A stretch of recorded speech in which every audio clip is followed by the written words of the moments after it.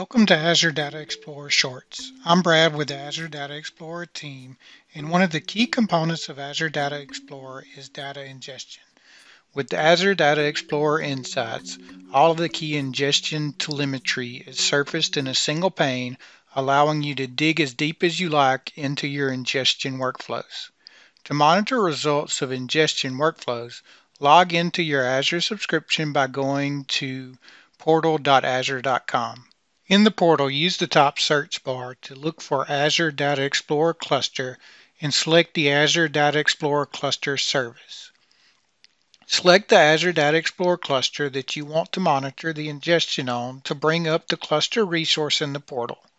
Once on the resource blade for the Azure Data Explorer cluster, open the Insights view. We'll use the Insights tab within the Insights to give visibility into the cluster's ingestion workflow. Before jumping into the ingestion view, it's important to know what data is displayed by default and where you'll need to enable diagnostic logs.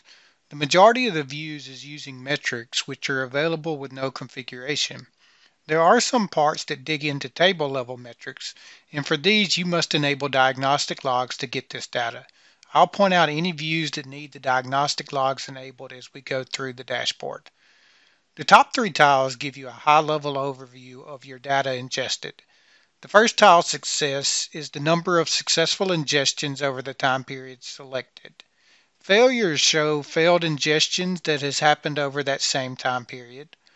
Total latency is the time from when a message is accepted by Data Explorer until its content is available for query. And ingestion utilization is the percentage of actual resources used to ingest data versus the total resources allocated in the capacity policies. Below these tiles, you can click on tabs that will show more details for each one of these key metrics. Note that for both the Success and Failure tab, you can see the data by database or by table. In order to see the table level information, you need to enable the diagnostic logs. By clicking on each of these tabs, you will be able to look at the trends over time for these key metrics for data ingestion. To dig deeper into the ingestion on your cluster, you can utilize the bottom section, Batching Ingestion Stages. Note that any chart that is showing a per table view will need the diagnostic logs enabled or they will be empty. This is broken into four parts that map to the flow data takes when being ingested and you can click on each part to bring up related detailed metrics to charts. Data connection monitors your connection to Event Hub, IoT Hub, or Blob storage.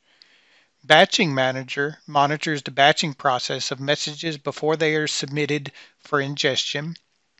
Ingestion Manager monitors the process of a batch into the engine.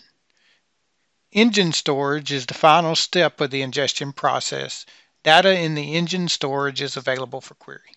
Azure Data Explorer team has made it very easy to monitor the ingestion of data into your cluster with the Ingestion tab of the Insights experience. Thanks for watching.